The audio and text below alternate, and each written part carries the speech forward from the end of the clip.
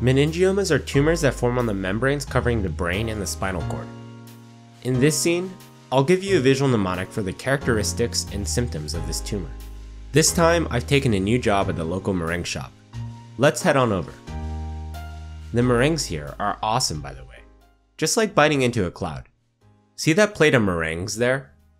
Meringues make me think of meningiomas because meringue sounds a lot like meninges.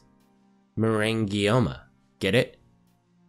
Meningiomas are tumors arising from the meninges, which is the medical term for the membranes covering the surface of the brain. In the world of meringues, my boss is the best chef in town. Yeah, her meringues are super famous around here. The boss is female, which helps me remember that meningiomas are more common in women than in men. It's not so easy running a bake shop. You see, she must be restocking into the night for the next day. The next day? Yeah, it's super late right now.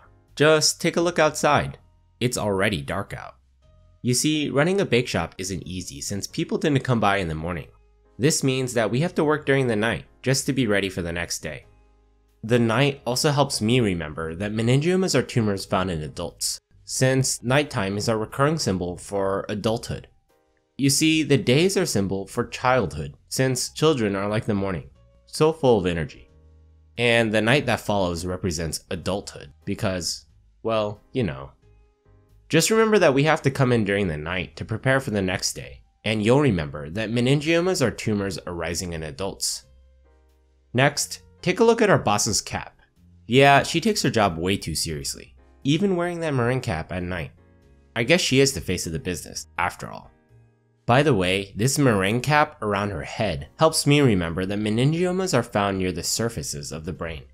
This should make sense, since meningiomas arise from the meninges, which form the protective covering around the brain.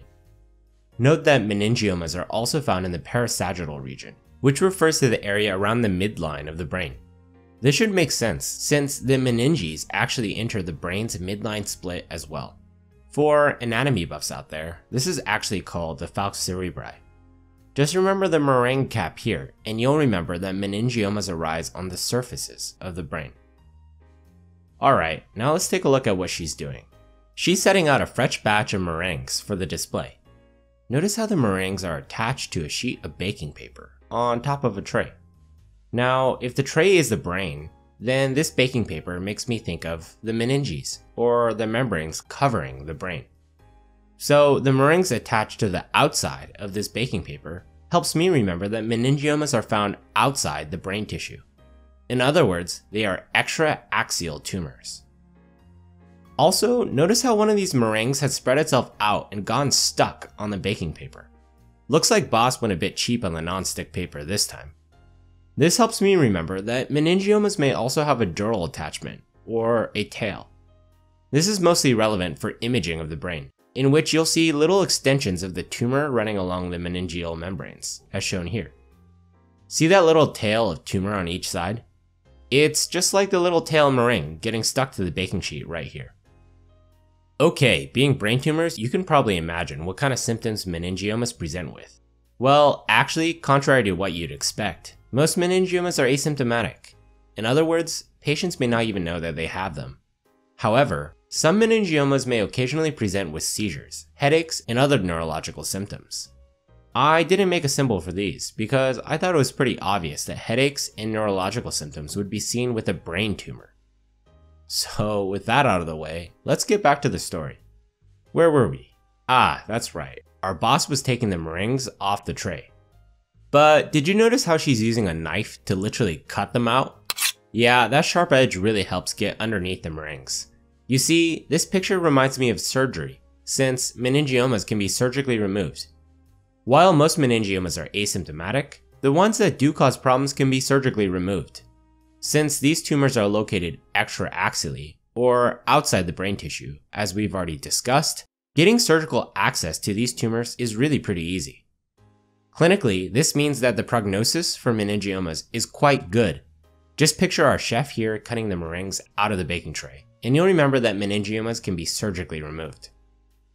Now you're asking, what's my job here? Well, it's to do a bit of spring cleaning. Boss is just so busy that she doesn't even have time to clean up the shop. I mean, just take a look at the huge spider up there. This spider, by the way, reminds me of the word arachnoid, since spiders are also called arachnids. Meningiomas arise from arachnoid cells, which form the arachnoid layer of the meninges. Recall how the meninges are composed of three layers the dura on the outside, the pia on the inside, and the arachnoid right in the middle. Meningiomas arise from the cells forming this middle layer, which you can remember by picturing this arachnid here. Next, take a look at this spider's web. Look familiar? That's right, this spider web has a lot of layers, or laminations. This picture is meant to help you remember the finding of psammoma bodies. You see, biopsy or tissue samples of meningiomas will also show psammoma bodies under the microscope. This is a fancy term for calcified layers of tissue, also called laminated calcifications. In reality, they look a lot like this spiderweb right here. Psammoma bodies can also be found in other cancers, notably of the ovaries, thyroid, and lung. But the only brain tumor that has psammoma bodies are meningiomas. Just know that if you're looking at a brain tumor biopsy with a psammoma body, you should be thinking of meningiomas. Lastly, notice how this spider has gotten its hands on a fork. It must have thought the fork was some sort of food though, since it wrapped it up just like a bug. The wrapped fork kinda reminds me of a spindle though, right? Yeah, a spindle. Coincidentally, this helps me remember the appearance of spindle cells on biopsy. In addition to psammoma bodies, another biopsy finding you should recognize is the appearance of spindle cells. These are long, narrow cells that resemble a spindle, and in meningiomas, these spindle cells often appear in a whorled pattern. Just remember our spindle here, and you'll know to look for spindle cells on biopsy. Okay, we're done with meningiomas. Before you go, let's do a quick review. Meningiomas are tumors arising from the meninges, or the protective membranes covering the brain. They are tumors of adulthood, and are more common in women than in men. Because they arise from the meninges, these tumors are often found attached to surfaces in the parasagittal region of the brain. They are located outside the brain tissue itself, but may also have a dural attachment, also called a tail. Most meningiomas are asymptomatic, but patients experiencing symptoms can have their meningioma surgically removed. You should also know that these tumors arise from arachnoid cells, and two pathological characteristics to note are the presence of psammoma bodies and spindle cells. Alright boss, I'm gonna get to work now. Save me a meringue for later though. That batch looks pretty killer. I'll catch you in the next one. Thanks for watching. For more videos like these, click here to subscribe to our YouTube channel.